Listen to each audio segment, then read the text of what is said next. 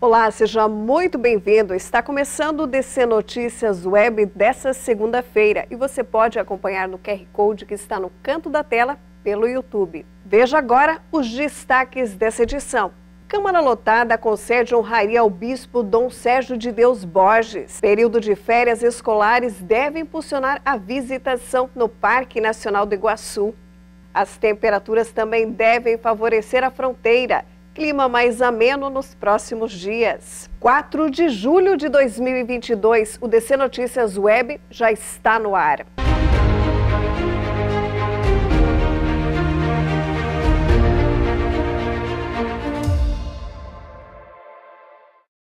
Olá, o DC Notícias Web abre essa edição falando sobre a homenagem concedida ao bispo de Foz do Iguaçu, Dom Sérgio de Deus Borges.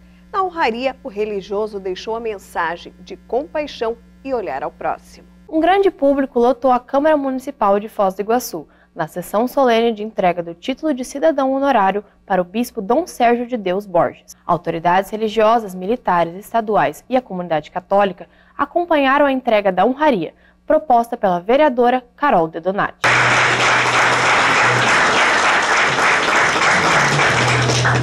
Dom Sérgio é uma pessoa que realmente merece esse título, né? Um, uma pessoa que é, faz muito pela comunidade, sempre é muito acessível aos, aos munícipes, tem sempre uma palavra de conforto, de fé e faz um trabalho admirável, tanto no nosso município como ao longo da sua vida. Ele se torna é, um cidadão de Foz do Iguaçu, né? É uma, uma honraria que a Câmara de Vereadores oferece a pessoas com, que desenvolvem um trabalho importante pelo município o bispo diocesano tem um papel importante na atuação social. Está na condução de 28 paróquias nos 14 municípios de abrangência e conta com um trabalho ministerial com cerca de 52 sacerdotes e quatro diáconos permanentes. O dia de hoje é um momento sim de reconhecimento do trabalho da comunidade católica em Foz do Iguaçu e também em todo o território da diocese. Não é só a pessoa do bispo, né? Não é homenagem a ele, mas através dele, no caso através de mim, é uma homenagem a todo o trabalho da Diocese nas várias dimensões da evangelização e do trabalho com a caridade. No município, a Igreja Católica teve um papel fundamental durante a pandemia, com ações sociais e o engajamento com o poder público. Este trabalho foi enaltecido pelo prefeito Chico Brasileiro. Em termos de crise sanitária e de crise humana, foi o pior momento que nossa geração passou. E neste momento tem pessoas que se destacam. E aqui eu falo em nome da prefeitura em reconhecimento. Porque Dom Sérgio estendeu não só a mão, não só a fé, estendeu toda a estrutura da igreja para acolher os que mais precisaram de ajuda nesse momento tão difícil. A cidade de Foz do Iguaçu está reconhecendo é, no bispo diocesano Dom Sérgio de Deus ah, como uma pessoa que recebe o título de cidadão honorário da nossa cidade é, por merecimento, pelo envolvimento dele desde que chegou em nossa cidade. Ele colocou toda a diocese à disposição da comunidade, vem trabalhando por uma integração comunitária vem trabalhando pelo fortalecimento das famílias, vem trabalhando pelo fortalecimento das causas sociais. Então a igreja tem se voltado para aqueles que mais precisam, pela justiça social, e ele tem liderado todo esse processo em nossa cidade. Isso é muito positivo. No momento mais difícil da pandemia, é, Dom Sérgio estava à frente de ações solidárias, é, olhando sempre para aquelas pessoas que realmente necessitavam de amparo, de apoio. Então é um título é, altamente merecido. E esse título ele é dedicado exatamente a essas pessoas, as pessoas que têm um trabalho, as pessoas que é, têm um serviço prestado e, e, Dom Sérgio de Deus ele se enquadra totalmente dentro dos requisitos, né? Então, a, como prefeito, representando a comunidade, eu vejo que esse é um título que realmente tem todo um envolvimento, tem toda uma, uma sinergia. É um momento muito importante, não somente para a Igreja Católica, mas para Dom Sérgio também que recebe esse reconhecimento pelos serviços prestados aqui em nossa cidade. É muito importante a presença do bispo, onde está o bispo está a igreja, né? Representa toda a nossa comunidade e nós, como católicos aqui de Foz do Iguaçu, nos alegramos por esse reconhecimento dos serviços prestados aqui em nossa cidade. É muito gratificante para nós estar presente e participar desta essa vida de retidão do, do bispo, que nós temos acompanhado tanto na parte operacional da polícia como na parte particular nossa, na frequência na, na rede de igreja, na congregação. Então, o bispo é merecedor de todas as honrarias do município. Concentração, diversão e aprendizado. Um torneio de xadrez reuniu alunos do Colégio Educação Dinâmica no último sábado. Um torneio de xadrez foi realizado com os alunos do Fundamental 1 no Colégio Educação Dinâmica. Depois de algum tempo, o evento volta a acontecer e o número de participantes foi muito positivo. O professor e organizador do evento explicou sobre a preparação dos alunos para a competição. Durante as aulas a gente né, começa com xadrez, ensina eles a jogar, a jogarem, faz as, fazer estratégias. E é, só que assim, esse torneio a gente levou bem para o caráter festivo mesmo, para eles participarem, para incentivar a participação deles. É, a competição, ganhar ou perder, realmente uma, uma participação. Tanto que todos que participaram vão receber uma medalha de participação como recordação de, desse grande evento que a gente está fazendo. Além disso, os pequenos puderam aproveitar o evento junto de seus pais que deram todo o apoio nesse dia especial. Muito emocionante, né? Nós ficamos felizes pelo convite, porque é um momento ímpar para eles aprenderem a, a, competir, aprender a entender, a perder e a ganhar. Então esses movimentos, eles ensinam as crianças, ainda mais pós-pandemia que ficaram tão presos, né? Sem, sem ter experiência de troca, de saber como lidar com esses sentimentos. Então nesse momento, acho que para eu eu digo por mim, mas eu acho que representa grande parte das, dos pais, é essa alegria da gente poder ver as crianças aprendendo a viver novas fases, novas experiências. Né? É muito bacana estar prestigiando aqui o evento, em que as crianças a gente vê que está extremamente descontraídas e à vontade. Né? O xadrez é um jogo de raciocínio lógico que ajuda a criança a pensar com mais rapidez, ter um raciocínio melhor e independente de, de, de, ganhar ou perder, acho que o mais importante é eles estarem participando. E como que você acha que essa prática pode ajudar no aprendizado dela? Eu acho que o fato de ter um raciocínio mais rápido ajuda na tomada de decisões e isso no futuro, é, quando forem adolescentes ou adultos, vai ajudar bastante numa profissão e em outras atividades também. Cheque mate, ataque duplo e a defesa fizeram parte do torneio e a emoção dos pequenos estava contagiante. Ah, é uma sensação muito boa, tô feliz que eu ganhei as duas partidas, né? Eu não perdi nenhuma, sem invicto. Ah, eu tô feliz de estar presente aqui. E o que, que você achou no dia de hoje? Está gostando? Eu estou gostando muito. Já ganhou alguma partida? Eu ganhei. Qual que foi a emoção? Muito, eu adorei, eu fiquei muito, muito mega feliz. E veja no próximo bloco, o DENAR que recebe homenagem na Câmara de Vereadores pelo combate à criminalidade.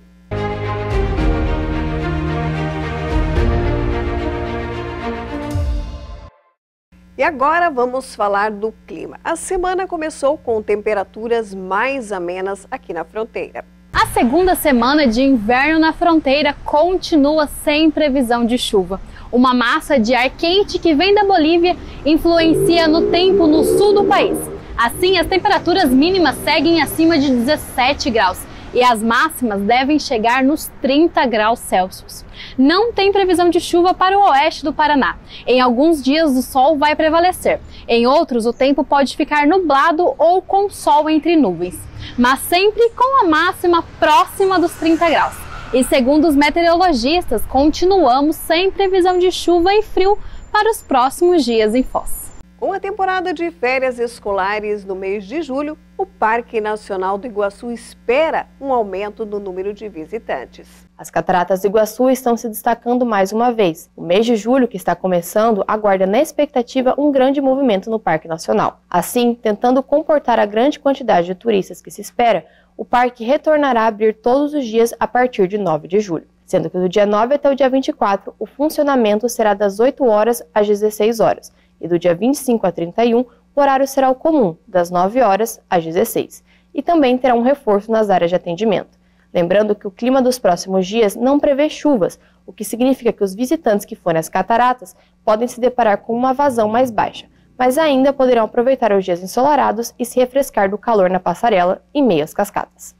O Hospital Ministro Costa Cavalcante está implantando uma novidade tecnológica para o controle de enxoval hospitalar. O Hospital Ministro Costa Cavalcante está buscando implementar um novo sistema para controle do enxoval hospitalar, visando preservar o material do ambiente. O método consiste em uma identificação por radiofrequência, o chamado RFID. O que acontece é que materiais como lençóis ou peças privativas são lavadas externamente e depois voltam ao hospital. Assim, a técnica tem como objetivo rastrear por onde essas peças passaram. Para mais, o local manda para a lavagem externa aproximadamente 700 kg de roupas. Logo, o hospital busca, através do chip, saber onde os itens estão, tentar impedir que esses sejam extraviados e acompanhar toda a vida útil do material. Veja no próximo bloco. Pelo combate na criminalidade, DENARC recebe o reconhecimento da Câmara de Foz.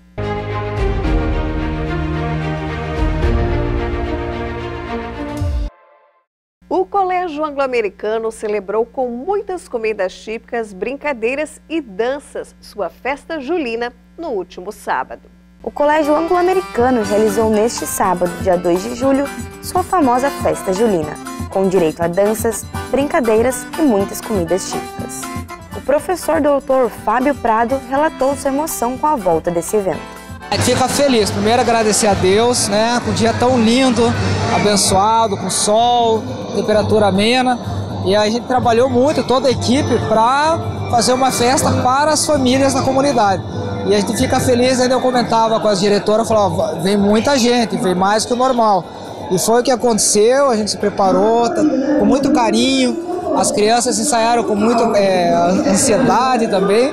Muitas crianças é a primeira vez que fazem uma apresentação no palco. É um dia feliz, é um dia feliz da, com a família, com todas as pessoas aqui. A gente fica agradece a confiança, a participação de toda a sociedade e que todos tenham um, um ano bom. Com um sorriso no rosto e com suas roupas típicas, os alunos encantaram quem estava presente. É, os pequenos ficaram em casa muito tempo e isso gerou, acabou gerando uma apreensão muito grande na gente, porque querendo ou não, a gente acabava privando um pouco o que as crianças faz, podiam fazer ou não nessa época. Graças a Deus tudo começa a voltar ao normal e a gente fica muito emocionado em ver momentos como esse, compartilhar esses momentos não só com os outros pais, mas com a equipe de professores, com as crianças principalmente. Então a gente acredita que é uma, uma lembrança, um momento que a gente vai guardar pro resto da vida. E você, mãe, como que tá o coraçãozinho de ver ela dançar agora? Emocionado, né? A primeira festinha dela, de junina, tudo, de caipirinha. Tô muito emocionada. Como que é a sensação de estar aqui prestigiando a sua neta num momento tão especial como esse? É muito especial. São oportunidades que a vida nos dá de curtir a, a neta num ambiente alegre, bonito, gostoso, com segurança. É muito bom demais. João Augusto, o que, que você tá achando da festa de hoje? Legal. Tá gostando? Já comeu alguma coisa? Já. Batata frita. Fui. Sim. Além dos pais dos estudantes, o Pietro, ex-aluno do colégio, foi prestigiar e matar a saudade dessa festa. Para mim, mais do que a festa, é voltar para o colégio depois de 20 anos e poder caminhar nesses lugares que, na minha memória, eram muito maiores e não são. Mas o, o sentimento nostálgico ficou. E como que foi essa trajetória? Estudando no ângulo, como é que foi? Eu sou cria da casa, eu vim para cá para maternal, fiquei até o segundo, médio, o segundo ano, o antigo ensino médio. Saí, fiz faculdade de São Paulo. De São Paulo eu fui para os Estados Unidos, fiquei cinco anos trabalhando. E de lá eu fui para a China e fiquei seis anos. E eu estava em Hong Kong até ano passado, quando eu voltei para Foz. Então, 15 anos fora e voltei para casa, voltei para Foz. É a primeira vez que eu venho do ângulo desde então. Nessa segunda-feira, o DENARC recebeu uma homenagem do Legislativo como reconhecimento ao combate ao narcotráfico e à criminalidade. A Divisão Estadual de Narcóticos DENARC, que atua no combate ao narcotráfico e criminalidade, recebeu uma homenagem na Câmara. A entrega da moção de aplauso contou com a participação expressiva de delegados da Polícia Civil, investigadores e escrivães. Eu estou muito feliz por essa homenagem, por poder conceder essa honraria ao Denar, porque o Denar tem feito um trabalho diferenciado, é uma divisão diferenciada que nós temos no Estado do Paraná, nós vivemos aqui na região de fronteira, nós sabemos a importância do combate ao tráfico, aos entorpecentes, e eles têm feito um belíssimo trabalho. E esse núcleo de Foz, junto com todos os núcleos do Estado do Paraná, capitaneado pela coordenação da doutora Ana Cristina, que é a delegada-chefe, só tem é, mesmo que receber as nossas homenagens, as nossas honraria. Então, parabéns a todos os delegados que estiveram aqui presentes, parabéns a todas as Forças Armadas que aqui estiveram também compartilhando deste momento e a toda a equipe, porque essa honraria é de todos. O delegado-chefe do DENARC Núcleo Regional de Foz do Iguaçu falou do reconhecimento do Legislativo. Com certeza. É, como eu falei, é, foi muito importante e justa essa homenagem para a Divisão Estadual Narcóticos como um todo. Os policiais que lá hoje trabalham, é, incansáveis na luta contra o narcotráfico. É, se dando das suas famílias, muitos dias, até semanas, para combater o tráfico de drogas. Esse conhecimento é importante, é mostrar a população trabalhando né, em prol dela, em prol da população, não somente da população do país. A população brasileira, que sabe que a droga que sai da fronteira não basta somente no Paraná, abastece o nosso país inteiro, não somente no nosso país toda a muita da droga que sai daqui vai até para a Europa. Então é um combate internacional drogas. Esse reconhecimento para nós é muito gratificante. É resultado do esforço de muitos policiais na incansável luta contra o tráfico de drogas. É, são vários núcleos espalhados por todo o estado que fazem esse, é, esse combate frequente ao tráfico de drogas, é, com investigações complexas, com a prisão e apreensão é, de muitos toneladas de drogas durante todo o ano. E para nós é, é, motivo de muita satisfação esse justo reconhecimento numa casa de lei, é, do Foz do Iguaçu, na Casa do Povo, que é para quem nós trabalhamos sempre.